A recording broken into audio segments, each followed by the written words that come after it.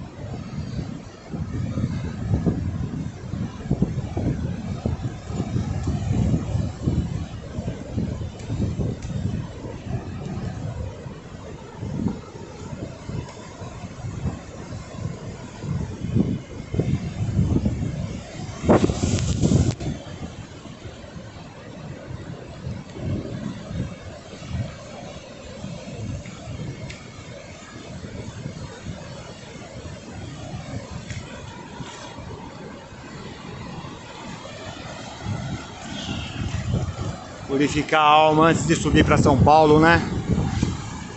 Isso aqui não tem preço, gente.